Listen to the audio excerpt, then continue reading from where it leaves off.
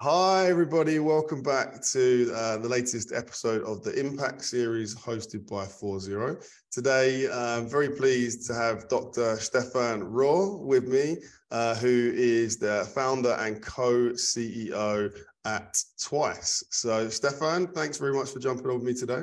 Michael, good to meet you. Thanks for having me. Brilliant. Well, look, um, look let, us kind of jump straight into it then, Stephan. So, look, for those people that aren't familiar with, with, with, TWAICE, um, can you give us a, a, kind of quick introduction into the business? Tell us a bit about the company, also the climate issues that you're helping to address, and and your solution to those uh, problems as well. So yeah, thanks. Um, so the when we look currently into the market, into this climate challenges, right? One big part of it is CO2 emissions, right? And CO2 emissions, when you look into the statistics, is um, really heavily driven from mobility in the energy industry. So it counts 70, 75% of emissions come really from the energy industry and the mobility industry. And we see currently a strong trend.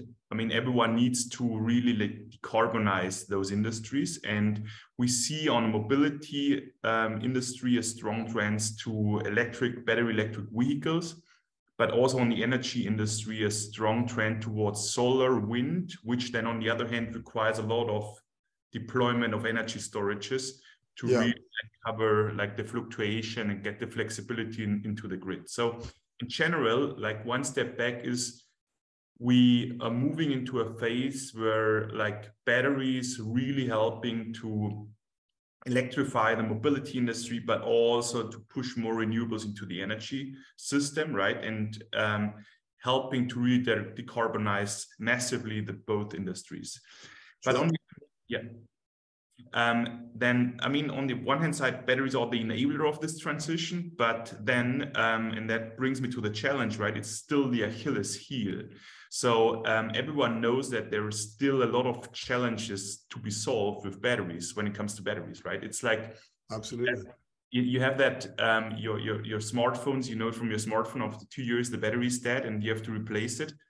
Um, when it happens for cars, when the battery costs 15 or even 20,000 euros, then it should not happen, or you, at least the battery should keep the lifetime promises the OEMs and everyone gives into the market. So battery lifetime is a big challenge still, right? Safety, right? So you don't want to see the batteries burning in like the garage um, in your. then yeah, on we've all heard those those kind of horror stories as well. Yes, uh, yeah. So I mean, it's it's happens very rarely, right? But when it happens, it's severe. But yeah. So it's really lifetime safety, but on the other hand, also cost, right? Electric vehicles are still compared to combustion engine vehicles still quite expensive. I mean, we are getting there, yeah. but it took a couple of years. We're getting there, and it will be also way better now next three four five years. So there's a lot of developments there but it's really also battery costs um, um, warranty obligations. So there is um, then charging speed of batteries right? Makes a massive impact if um, people decide for electric cars versus combustion engines how fast can they how far can yeah. they drive and how fast can how they far, yeah how convenient it is to then to use the vehicle. Absolutely and everything, right? Like when it comes to batteries, there are still uh, several challenges to be solved, right? And now coming back to TWAICE, right? So we are providing battery analytic software for like the mobility in the energy industry. So helping really batteries um, to overcome the, those challenges I just have mentioned. And we started into this topic. Um, so we founded TWAICE around five years back Mm, I did my PhD together with my co-founder in this area of battery analytic, battery life cycle, and we spin it off from the TU Munich uh, to build up this company, really providing analytic solutions along the life cycle and across various industries, mostly mobility and energy industry. Because what we will see in the next 10 years is I always call it the battery super cycle. So this massive ramp up of batteries in all applications, right? Okay. Um, and with this massive deployment of batteries, there will be also the software market needs to follow there. and that is what we want to create there. And we are currently a team of around 110, 20 people, uh, raised around 75 million uh, dollars, and really are on our way to build like this. I always call it the global champion for battery analytics.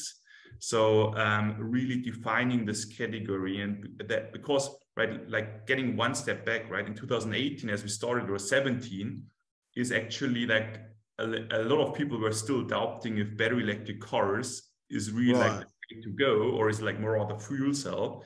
The same was on, on the energy storage side. There were not too many deployed energy storages out there in the market. And okay. so really creating like this analytic software and simulation software to helping those industries to succeed. That's that's core of it. So the so the kind of the market has caught up with with TWAICE then. So since the inception, the market has kind of come around to your way of thinking, and obviously now electric vehicles are you know absolutely the future. Um, yes, absolutely. So we like I think we were a little bit in front before the wave, and now it's really like um, just um, just coming and just happening right now, and that is also makes it very exciting. But on the other hand, also like when you look out there on the roads and on the streets, right, there's still a limited amount of electric cars out there. So yeah, I would say it's also like really next 10, 20 years, it's still a massive uh, journey to transform those industries and electrify them.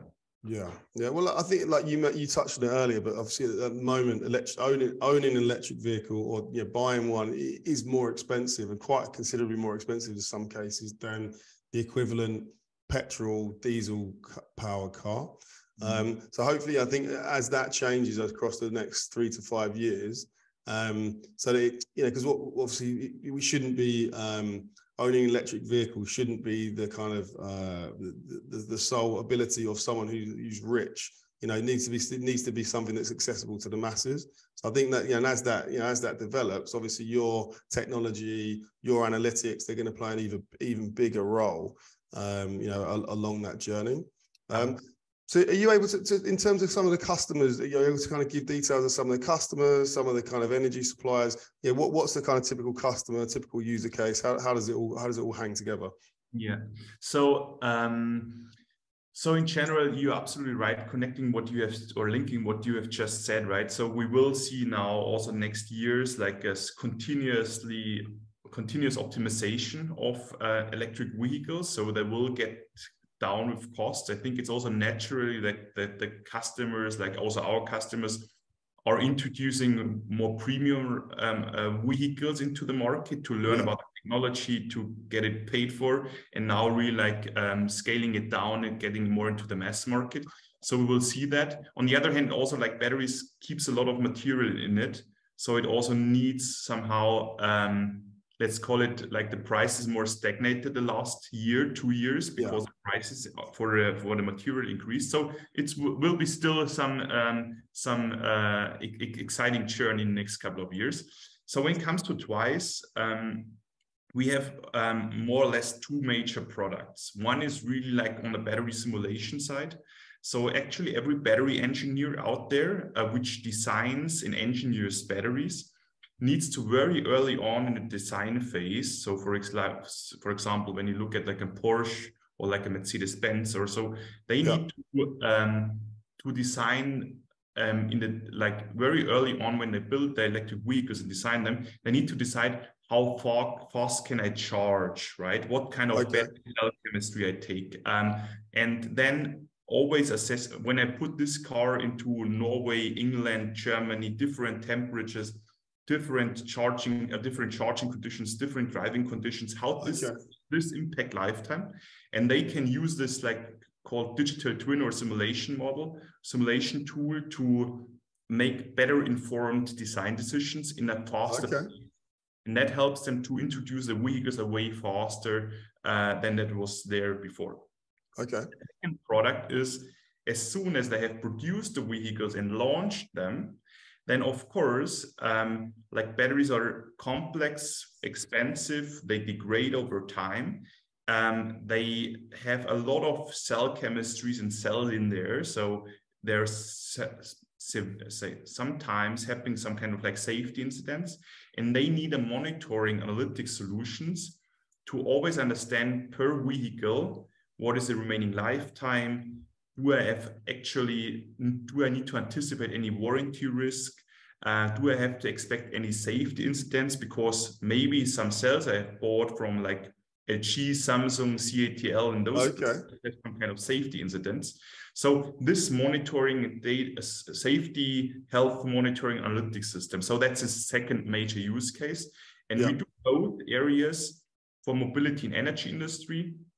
And in the mobility industry, it's really like the either like the the the the, the work mostly with all German automotive car OEMs, but also other uh, players like in the bus truck market.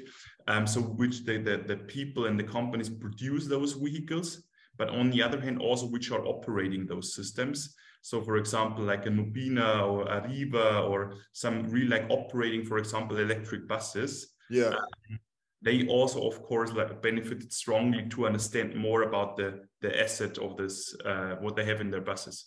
Of course of course. Okay cool. Well uh, thanks for kind of outlining that in terms of you know what, what the user cases are and sort of typical customers. That's really interesting uh, for our yeah users to kind of well for our viewers to, to get an understanding of that. Um, and, and Stephan, it's look, it's obviously been it's been a very exciting journey so far uh, for TWAICE. Like you said, founded you said 2008, so about five five years ago. Um, uh, yeah, r- roughly 120 people in the business now already. Um, 75,000 um, US dollars, 75 million US dollars raised in funding. So look, it's been it's been quite a journey so far. But so what? But what does the future look like, Stephan? So if we were to fast forward three to five years, you know, what does the future look like for TWAICE? So um, yes, it's a journey. I think it's still at the beginning, right? So we really want to go through this. I call it yeah, like the battery super cycle. So because when there are just more batteries deployed in cars, buses, trucks, energy storages, there will be a way more battery simulation and software needed. So it's just like now naturally, like the software market will follow. For us, the core of it is we spin it off from the TU Munich. Um, but now really cover the whole European market. And since a year, we also like uh, have the first colleagues on the ground in the US. So our goal is also really like the next five years to build a global champion. So really the problems we are solving, they are not only limited to like Europe. So it's the same batteries degrade this not always, but degrade the same way in the US than in Europe. Depends on the temperature and the driving things and so on. But really also helping really players uh, across the globe uh, with analytics software and simulation. And then um, really I would say in five to 10 years, have a really a, a, broader portfolio of different solutions, software solutions, helping our clients more to speed up the way to the go-to market or like to the market. But on the other hand, also helping them to de-risk their battery business heavily. Because you can imagine now when more car companies, bus companies, but also energy storage companies deploying more and more batteries, it's also piling up, right? In terms of yeah. like what kind of values in the market, and they need to de-risk it. Um, and to really de-risk it, enable health, safety, warranty, uh, risk under control. So that is actually what will also like um, drive us the next three, four, five years. I would say heavily. Brilliant. Well, uh, it's it's uh, it's going to be like I say, it's a journey already, and it's going to be one that's going to continue to keep you pl- plenty busy, um, Stephan. So I don't look, I know you've been so busy; it's taken us a while to get this one scheduled. Um, and look, look, long may it continue. Long may the kind of growth and you know the, and and and the rise of TWAICE continue, and we'll we'll kind of keep our eyes out for you to see how you're getting on in the states and and and hopefully further afield into the rest of the world in the next five to ten years. Absolutely, thank you, and will be not the last time. I expect so. Fantastic. Well, it'd be, yeah, it'd be great to revisit it in the future to see, you know, what the development's been like and how things have changed, and you know what else you're, yeah, what what other products, services you've released as well. Hundred percent, we'll do that. Fantastic. Well, look, Stephan, look, thank you very much for your time. Really appreciate it, um, and uh, we'll speak soon. Speak soon.